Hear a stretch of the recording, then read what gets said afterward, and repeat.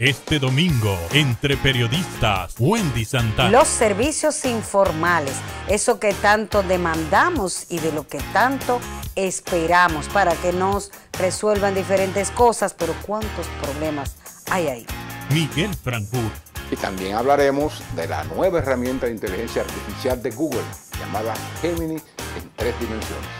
Domingo, 10 de la noche. Y también estaremos conversando sobre el periodista cuando está ahogado en muchos servicios, cómo desenvolverse haciendo su trabajo en buena calidad. Entre periodistas,